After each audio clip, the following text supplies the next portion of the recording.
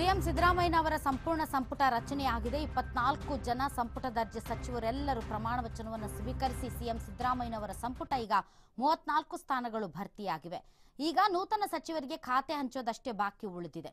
ಇನ್ನು ಸಿದ್ದರಾಮಯ್ಯನವರ ಸಂಪುಟ ನೋಡೋದಾದ್ರೆ ಈ ಸಂಪುಟದಲ್ಲಿ ಲಿಂಗಾಯತರದ್ದೇ ಪ್ರಾಬಲ್ಯ ಜಾಸ್ತಿ ಆಗಿದೆ ಸುಮಾರು ಎಂಟು ಮಂದಿ ಲಿಂಗಾಯತ ಶಾಸಕರಿಗೆ ಅವಕಾಶ ಕೊಡಲಾಗಿದೆ. ಎರಡನೇ ಸ್ಥಾನದಲ್ಲಿದ್ದಾರೆ ಒಕ್ಕಲಿಗ ಶಾಸಕರು. ಒಕ್ಕಲಿಗ ಸಮುದಾಯದ ಆರು ಮಂದಿಗೆ ಅವಕಾಶ ಕೊಡಲಾಗಿದ್ದು, ಎಸ್ಸಿ ಎಡಗೈ ಮೂರು, ಬಲಗೈ ಮೂರು.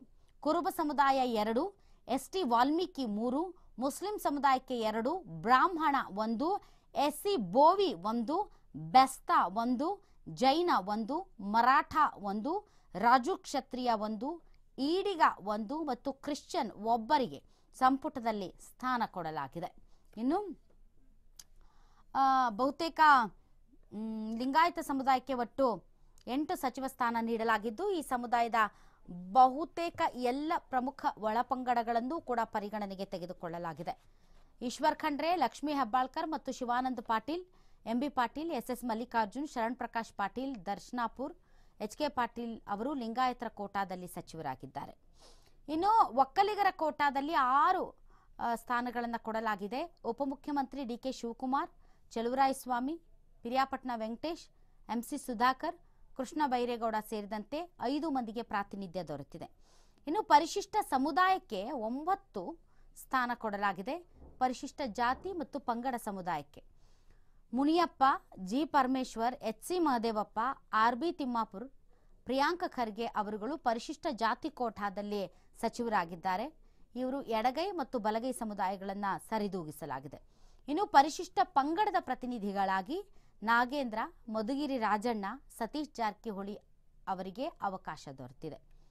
ಹಿಂದುಳಿದ ಜಾತಿಗಳಲ್ಲಿ ಅತ್ಯಂತ ಸಣ್ಣ ಸಮುದಾಯ ರಾಜು ಕ್ಷತ್ರಿಯ ಸಮುದಾಯದ ಬೋಸರಾಜು, ಅತ್ಯಂತ ಸಣ್ಣ ಹಿಂದುಳಿದ ಸಮುದಾಯಗಳಲ್ಲಿ ಒಂದಾಯದಂತಹ ಬೆಸ್ತ ಸಮುದಾಯದ ಮಂಕಾಳು ವೈದ್ಯ, ಮರಾಠ ಸಮಾಜದಿಂದ ಸಂತೋಷ್ ಲಾಡಿದ್ದಾರೆ ಇನ್ನು ಕುರುಬ ಸಮುದಾಯದಿಂದ ಮುಖ್ಯಮಂತ್ರಿ ಸಿದ್ದರಾಮಯ್ಯ ಅವರನ್ನ ಬಿಟ್ಟರೆ ಭೈರ್ತಿ ಸುರೇಶ್ ಅವರಿಗೆ ಮಾತ್ರ ಸಂಪುಟದೊಳಗೆ ಅವಕಾಶ ಲಭಿಸಿದೆ. ಇನ್ನು ಈಡಿಗ ಸಮುದಾಯದಿಂದ ಮಧು ಬಂಗಾರಪ್ಪ ಇದ್ದಾರೆ. ರಜಪೂತ್ ಸಮುದಾಯದಿಂದ ಅಜಯ್ ಸಿಂಗ್ ಅವರು ಮುಖ್ಯ ಸಚೇತಕರಾಗಿರುವುದರಿಂದ ಕಡೆಗಳಿಗೆಯ ಒತ್ತಡದಲ್ಲಿ ಅವರಿಗೆ ಸಚಿವ ಸ್ಥಾನ ಕೈತಪ್ಪಿದೆ ಇನ್ನು ವಿಧಾನ ಪರಿಷತ್ ಮುಖ್ಯ ಸಚೇತಕರಾಗಿರುವ ಬಂಜಾರ ಸಮುದಾಯದ ಪ್ರಕಾಶ್ ರಾಠೋಡ್ ಅವರಿಗೂ ಈಗಾಗಲೇ ಒಂದು ಜವಾಬ್ದಾರಿ ಇರೋ ಕಾರಣಕ್ಕೆ ಸಚಿವ ಸ್ಥಾನ ದೊರಕಿಲ್ಲ. ಇವನ್ ಅಶೋಕ್ ಪಟ್ಟಣ್. ಇನ್ನು ಮುಸ್ಲಿಂ ಇಬ್ಬರಿಗೆ ಸ್ಥಾನ ಸಿಕ್ಕಿದೆ. ಮುಸ್ಲಿಂ ಸಮುದಾಯದಿಂದ ಒಂದು ಜಮೀರ್ ಅಹಮದ್ ಖಾನ್ ಮತ್ತು ರಹೀಂ ಖಾನ್ ಇಬ್ಬರು ಸಚಿವರಾಗಿದ್ದಾರೆ. ಯು ಟಿ ಖಾದರ್ ಅವರು ಸ್ಪೀಕರ್ ಆಗಿದ್ದಾರೆ. ಕ್ರೈಸ್ತ ಸಮುದಾಯದಿಂದ ಕೆ ಜೆ ಜಾರ್ಜ್ ಅವರಿಗೆ ಸಚಿವ ಸ್ಥಾನ ಒಲಿದಿದೆ. ಜೈನ ಸಮುದಾಯದಿಂದ ಡಿ ಸುಧಾಕರ್ ಹಾಗೂ ಬ್ರಾಹ್ಮಣ ಸಮುದಾಯದಿಂದ ದಿನೇಶ್ ಗುಂಡೂರಾವ್ ಅವರಿಗೆ ಸಚಿವ ಸ್ಥಾನ ದೊರಕಿದೆ. ಗೊತ್ತಿದೆ. ಇದು already politics almost about twenty five ಹಾಂ.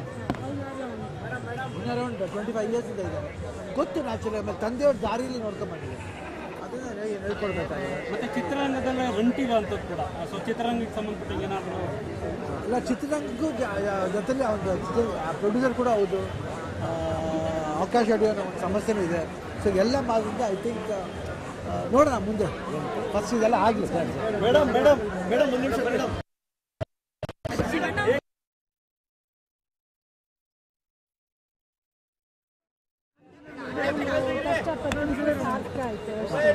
ಆಮೇಲೆ ನಮ್ಮ ಸ್ವಲ್ಪ ಜನ ಆಮೇಲೆ ಏನು ವಿಶ್ವಾಸ ಇಟ್ಟಿದ್ದಾರೆ ಈಗ ಕೂಡ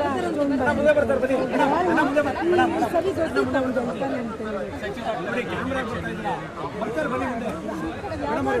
ಇರುತ್ತಲ್ವಾ ಈಗ? ಎಂ ಎಲ್ ಎ ಆದ್ಮೇಲೆ ಅವನು ಮಿನಿಸ್ಟರ್ ಆಗಲಿ ಅನ್ಸಿದ್ದು ಅದಾಯ್ತು